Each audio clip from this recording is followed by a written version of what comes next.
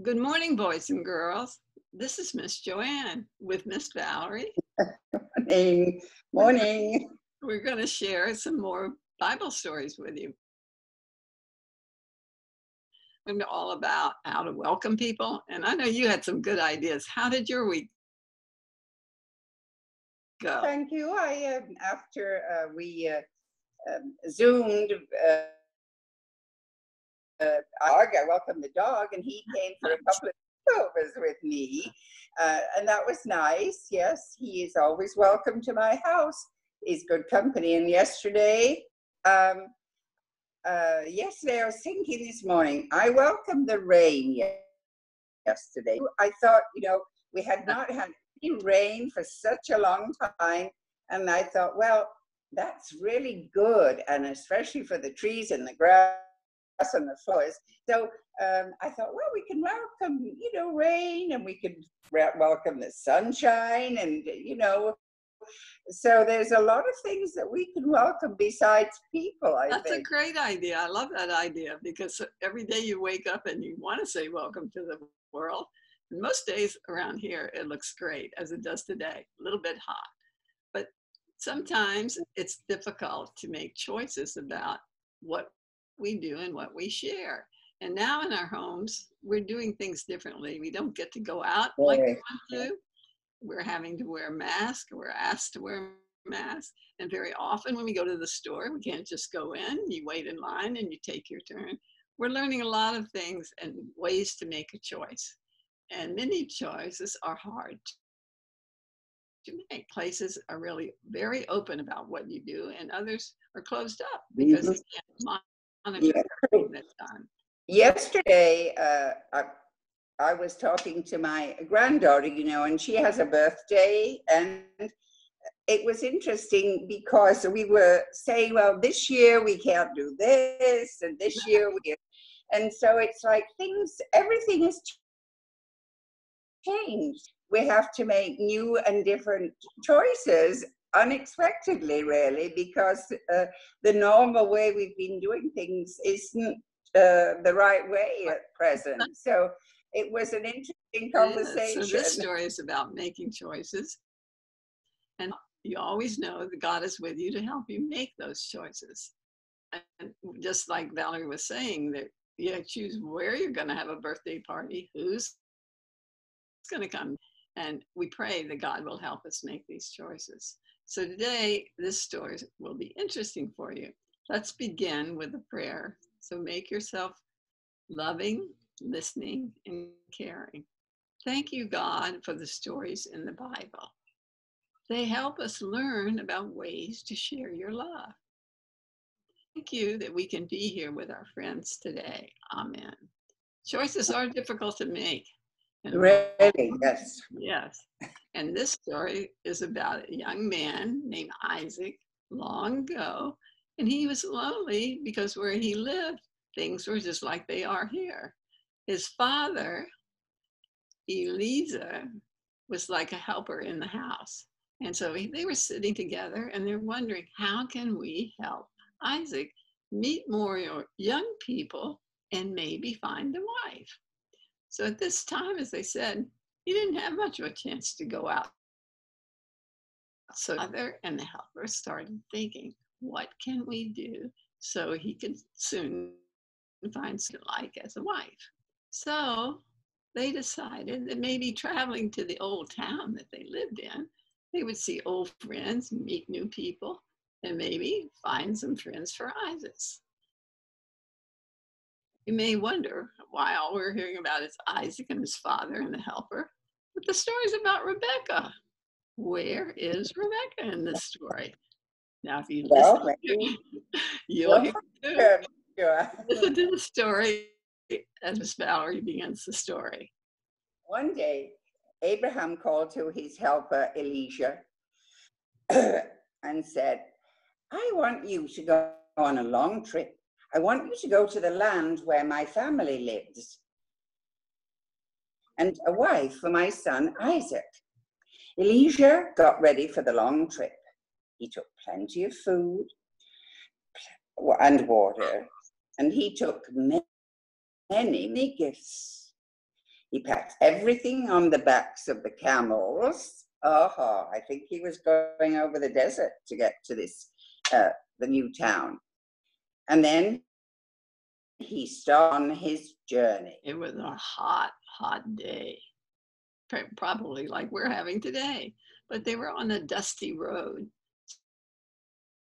So hump snarling and snuffing, the camels plodded down the road. Day after day, day after day they traveled. Finally, Eliezer looked in the distance and saw a large city. He was so thirsty his camels were thirsty and they were tired. They wanted to rest. So Eliezer stopped at the well, which is where people would go to get their water then. They were very thirsty, so they were so happy to find the well. And he stopped there and he prayed. Eliezer hoped that God would help him find a. Just then, a young woman named Rebecca came well, and she was carrying a big water jar, sometimes on their heads too, Yes. because they, they didn't have taps in their houses back then. They had a, a big well where they had to go and get the water. and so uh, Elisha said, uh, May I have a drink of your water? Yes, said Rebecca, and she lowered her jar down the well, brought it up, and she gave Elisha a drink. While he drinking, Rebecca said, I will also give water to your camels. Oh, she realized they were very thirsty also. What a kind woman Rebecca is, thought Elijah. He, he thanked her for the water, and then he went with her to her home to meet her family. Her father and all her relatives were greeting him and happy to see him. And he gave them many, many pre- presents and gifts.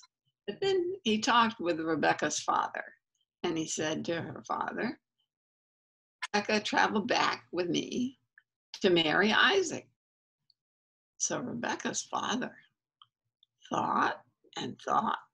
He probably wasn't expecting this kind of a question or invitation. But he took time and he thought, well, Abraham's son will make a good husband for Rebecca. You know what? Let's ask Rebecca what she wants to do. And if that's what she wants to do, I will let her go now. Rebecca sat down and she prayed to God, and deep inside and all around. Rebecca knew that God would be with her and always help her to make good choices. Sometimes we forget to ask God to help us make choices. Rebecca's reminding us that that is a good person. So the next day, Elisha, sorry, first she said, Yes, I would like to be Isaac's wife. I will travel back with you now. She made her decision, and so what was the point of waiting? She may as well go right now for her new life. The next day, Eli- Elijah and Rebecca and the camels left to travel back to Abraham and Isaac. Bumpity, bumpity, snuffle and snorting. The camels plodded down the road. They had left all the gifts behind, but they carried something that was more important and special. Very Bringing Rebecca to Isaac. What a great story. And how thoughtful Rebecca was in making her decision. She took time out to think about what she wanted, what her family wanted, and what Isaac wanted. And with God's guidance, she made this great, wonderful choice where everyone was happy about it. I know Miss Valerie has some exciting creative artwork to do that's wonderful because you'll be making choices of how to make it as beautiful as possible. Yes, I, I made um, I made this uh, I call collage. Let me show you. This is my uh, collage, as you can see, and then I at the po- uh, the top I have put loves us. If you want to put, uh, you could also do God helps us make choices too. That may be another uh, idea that we could write on our uh, little collage too. And then um, this is uh, my call. I call this my circle of love because I ended up with uh, the circle. So um, what I uh, need for this collage is I, what I used um, some colored pages in magazines actually. So if your mummy and daddy have some magazines, you can look at them and then ask them if it's all right for you to take pages out. Don't just go tearing pages out of magazines without getting permission. And also, um, I also, uh, if you've got little pieces of like leftover wrapping paper, uh, I, I show you the what I started to do. I'll show you in a minute with, with some old Christmas wrapping paper that I uh, use every year. But um, that would be fine also, as long as it's got you know colors and things on. So um, what you need is some magazine, some colored paper cut into very small pieces, very small pieces, uh, and um, a piece of paper that would be good. And the good old glue stick is invaluable to have. So if you want to do a circle, I thought you could do a square, I mean, you could do a triangle, you could do a snaky shape, whatever. But somehow I thought, well, maybe a circle, because it goes on and on and round and round forever is a good shape.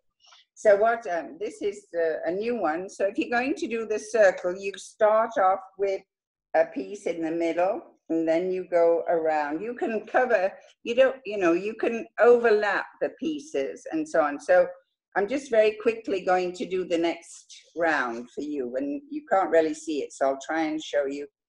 Do the glue in a circle around it and then you will just take the colored pieces and then just do one or two and then you'll get the idea. It's very easy to do.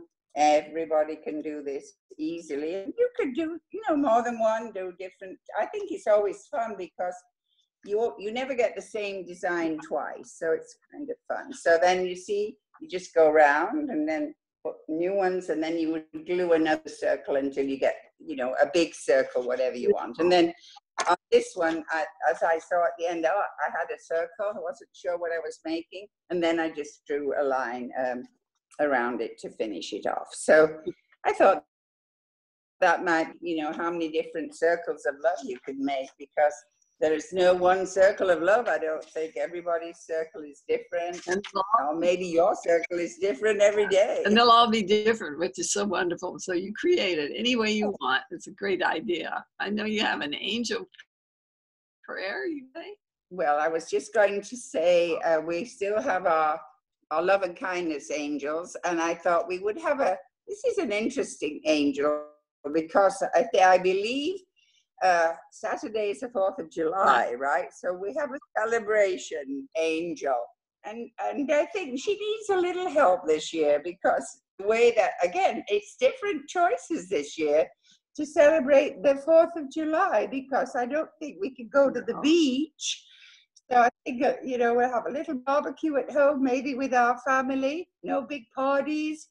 Um, I don't know if they're going to have fireworks on the beach this year, but we'll be watching fireworks from our homes, maybe off around us. But she needs, you know, she needs a little help because she wants you all to have a happy day and celebrate the 4th of July in maybe different ways. So she needs a little help.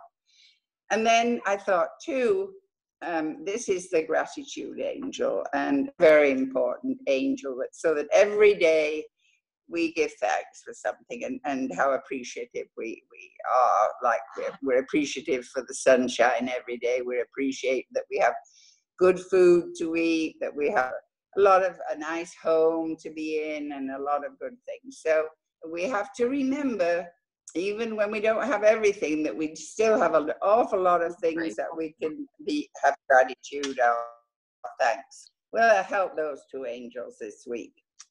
And now I have um, a little uh, little prayer. I hope everybody has a happy Fourth of July. Um, and and you have to eat and do on that day. And so now we have um, a little prayer about helping um, show God's love and God's caring and helping show God's love and care. I help you and you help me. We can see someone needing you and me. Helping shows God's love and care. I help you and you help me.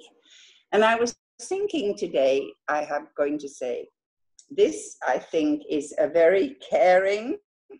Very caring. And this is how I can show my caring today, because I think it's important to remember that wearing the mask helps me. But wearing the mask, if I was sick with something, if I'm wearing mask, it would be good because it would help you to not get sick. So it helps me and it helps other people. So I thought that was a good uh, reminder how important it is to remember the wearing of a mask when we go out and that it's it's a helpful caring thing to do to sort of show God too that we are looking after each other. Yeah, that we care about each other. We don't want anybody to get sick, for goodness sake, do we? Not at all. So don't we forget. Wonderful messages and things to think about over the weekend to stay stay safe together with your family and share your love. Wear your mask, wash your hands, face, have a smile, and say welcome to everyone. See a you next. Smile is the best thing to give away, isn't it? Every day. Yeah. People really appreciate that. Yes. So you have a nice week too, Miss Joanne. I'm trying. it's beautiful on the beach. I don't know what'll happen tomorrow when all the people come, but we'll see. Wait and see. Yeah. There's a few clouds in the sky today, actually, but it's still very, very, very very beautiful out there. Yeah. lovely. So we'll See everybody next see everybody week. next week.